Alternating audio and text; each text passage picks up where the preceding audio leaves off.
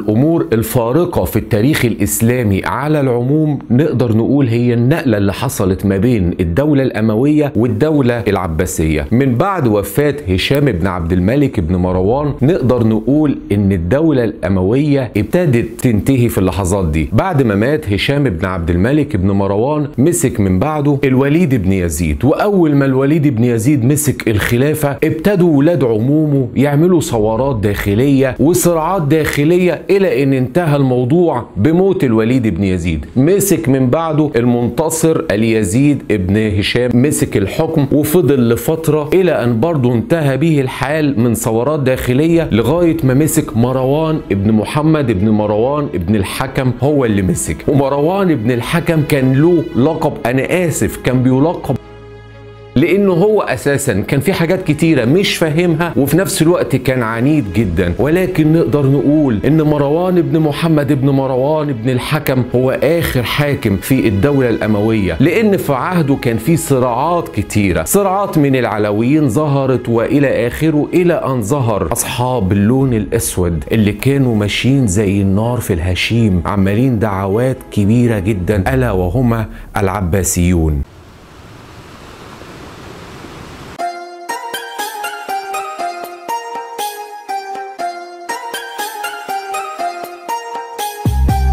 السلام عليكم معكم أخوكم محمد عاصم. أهلا وسهلا بكم في القناة ودايما متشرف بحضراتكم وشكرا جدا على تشغيلكم للفيديو الأول. كده تدوس like يا جماعة علشان في ناس كتيرة بتنسى تدوس like. like بيفرق كتير جدا. ندخل في الموضوع على طول. عندنا النهارده مروان ابن محمد ابن مروان ابن الحكم كان هو اللي ماسك الدولة الأموية. ونقدر نقول إن بنو العباس كانوا شغالين بالدعوة إن هم اللي يمسكوا الخلافة. ده طبعا بمؤازرة كتير من الفرس مع بعض الموالين. وفي عندنا في المشهد كان والي خراسان. والي خراسان كان اسمه نصر بن صيار. نصر بن صيار شايف الدعوة العباسيين والدعوة جوه المدينة عمالة تنتشر وحالات تمرد كبيرة. بعت لمروان للخليفة الحقني وبعت لي بمدد. الدعوة كبيرة قوي وأنا مش قادر أقف قدامها لوحدي إلا إن مروان كان عمال يديله وعود هاوية هو فاضي أساسا البيت الأموي شغال في صراعات داخلية إلى إن في اللحظة اللحظة دي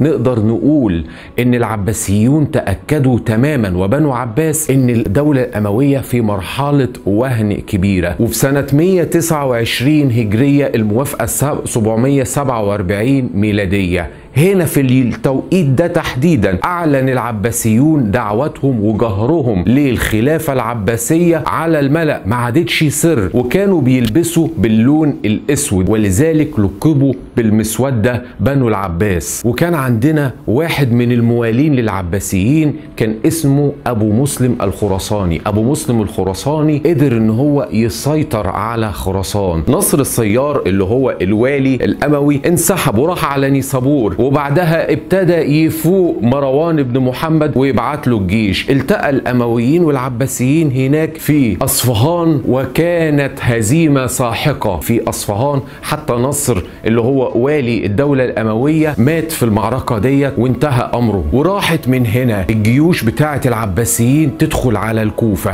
إلى أن بويع عبد الله ابن محمد ابن علي ابن عبد الله ابن العباس أول خليفة للدولة العباسية. وعشان نفرق كان عبد الله بن علي كان بيلقبوه مش أنا اللي بقول يعني لقب بالسفاح وكان ليه عم هو اللي كان قائد الجيش بتاعه كان برضه اسمه عبد الله بن علي. وعبد الله بن علي عمه ابتدى يدخل في المدن وينشر الدولة العباسية وكل الناس كانت بتبايع الخلافة. إزاي كانوا بيبايعوا الخلافة؟ كانوا الناس لما بيدخل عليهم العباسيين كانوا يلبسوا كده اللون الأسود اعترافا منهم بالدولة العباسية وكانوا فرحانين بصراحة الناس لأنهم كانوا عاوزين حد من آل البيت هو اللي يحكم. ده بالإضافة إن إحنا مش هنقدر ننسى إن في عصر الدولة الأموية حصل كتير من بعض المجازر اللي بعض الناس فضلت شايلاها كشيء دفين جواهم وفي قلوبهم ضد الأمويين.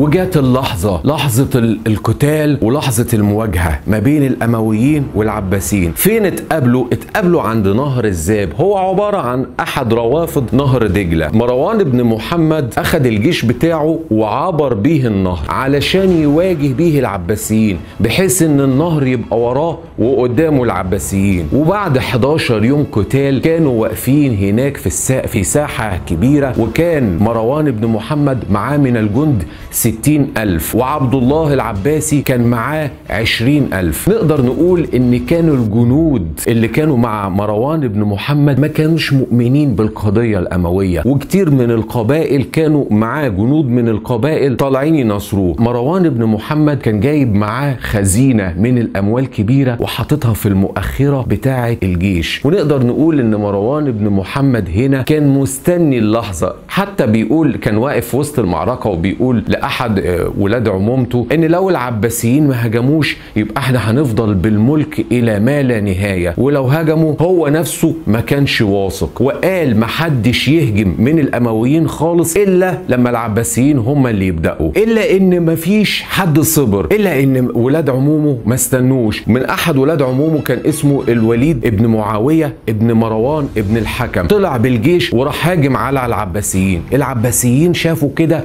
ابتدى القتال وكانت في اللحظة دي يا جماعة القتال ما بين الأمويين ما بين العباسيين وابتدى على أشده وكله بيقتل في بعض بدون رحمة خالص. إلا اللي نقدر نقول إن الميمنة من الجيش العب الأموي ابتدت تتهز. حاولوا إن هم يقفوا كده في ثبات إلا إن هم ما وقفوش في ثبات. بعض الجنود ابتدوا ينسحبوا. لدرجة مروان بن محمد اللي هو الخليفة الأموي شايف الجنود بتوع القبائل اللي كانت مسانداه واقفة مستسلمة خالص واقفة في حالة لا مبالاة غير طبيعية. بيقول لهم أنتوا هتسيبوني كده ما تقفوا معايا. يروح لكل قبيلة يعني يطلب منهم المد تعالوا معايا ادخلوا في الحرب قتلوا. يبصوا له يقولوا له بس إحنا هنقتل لما ولاد القبيلة دي هي اللي تدخل في المعركة. يروح لقبيلة تانية فوق قلب المعركة يا جماعة. يعني دول طالعين معاه عشان يساندوه إلا إن هم خذلوه آخر حاجة لدرجة إن هو راح راجع ورا وفتح الخزائن بتاعة الأموال بتاعته وبيغري الناس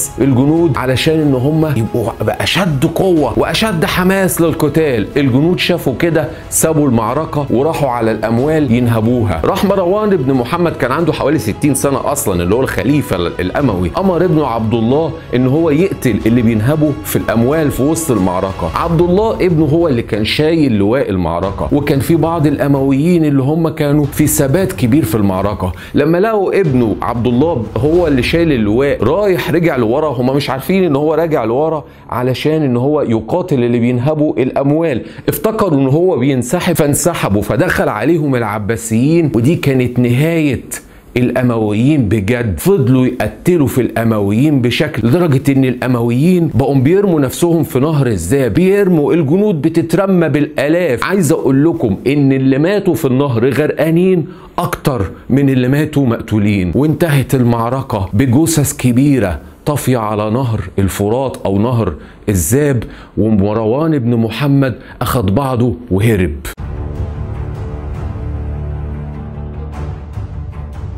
لما هرب مروان الجيش العباسي لقى غنيمة كبيرة من الأسلحة ومن الزاد ومن الأموال اللي تركها الأمويين. ومروان بن محمد أخذ بعضه راح الموصل. لما جه يروح الموصل طلعوا له أهل الموصل من فوق الأسطح وقالوا له الحمد لله إن هو خلصنا منك. وجه حد من آل بيت النبي عليه الصلاة والسلام وهو اللي ينصرنا وهو اللي يمسك الخلافة. راح لمدينة حران طلب من أهلها إنه استغاث بأهلها. قالوا له الحمد لله إن إحنا خلصنا منك وإحنا كنا عايزين حد من آل بيت النبي هو اللي يمسك الخلافة. دخل على طول وراه عبد الله العباسي. كان هو مروان هرب وأول ما دخل مدينة حران كل الناس لبسوا اللون الأسود اعترافا ليهم بالدولة العباسية وكأنهم بيرفعوا الولاء والطاعة. إلى الدولة العباسية. أخذ بعضه الخليفة الأموي مروان وراح على حمص ومن حمص هرب على ووصل إلى دمشق. لما وصل دمشق قابل الوالي هناك وقال له إنك أنت تنصرني وما خدش نفسه وما قعدش في دمشق. هو كل الأمر إن هو قال لدمشق ومدينة دمشق إن هي تنصره. ودمشق دي ليها موضوع هنقوله دلوقتي ولكنه ما قعدش في دمشق. ما قعدش في دمشق لأنه كان على ثقة إن العباسيين أقوى منه وإن اجلا أو عاجلا هيدخلوها وهيقتلوه ولكنه هرب إلى فلسطين ومن فلسطين وصل على مصر واستخبى في بوصير هنا في الجيزة. أما بقى عبد الله بن عباسي لما جه يروح على دمشق دمشق كانت محصنة بأسوار كبيرة قوي.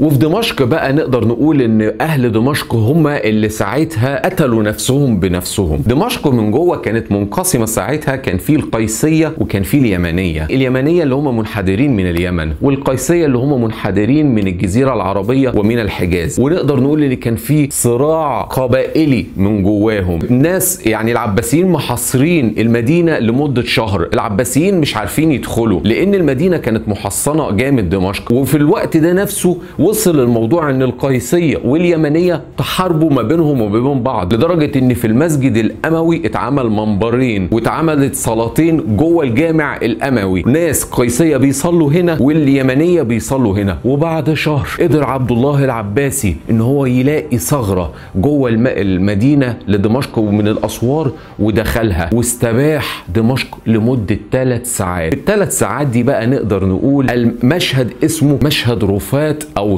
النبش في رفات قبور. قال لهم انبشوا كل قبور ما عدا قبر عمر بن عبد العزيز. وابتدوا نبشوا قبر معاوية بن أبي سفيان. ما لقوش فيه يا دوبك غير الكفن بتاعه. فتحوا القبر بتاع عبد الملك بن مروان. ما لقوش غير الجمجمة. وفتحوا القبر بتاع هشام بن عبد الملك بن مروان ولقوا الجثمان. تخيلوا عملوا إيه؟ أخدوا الجثمان وراحوا مصلبينه وراحوا محرقينه كده وبس. لا راحوا جايبين الأرملة بتاعت هشام بن عبد الملك بن مروان ومشوها حافية قدام الناس شبه عارية ودخلوها في الصحراء ومشوها حافية وقتلوها وحرقوا جثتها. وقيل إن في دمشق في الوقت ده مات ما يقرب في ثلاث ساعات قتل ما يقرب من خمسين ألف واحد من دمشق العباسيين ما كانوش بقى بيفرقوا هنا ما بين اليمنيين وما بين الحجازيين وما بين أهل الشام اتقتل في خلال ثلاث ساعات ما يقرب من خمسين ألف ده غير إن في البصرة مش. كان في نفس الوقت كانت البصرة بيلموا فيها الأمويين